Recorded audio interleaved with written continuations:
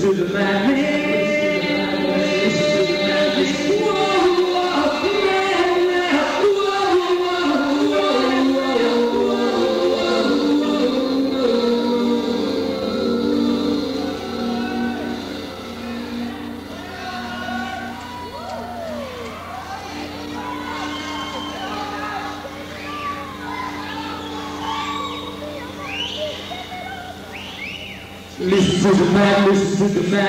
to the man, listen to the man,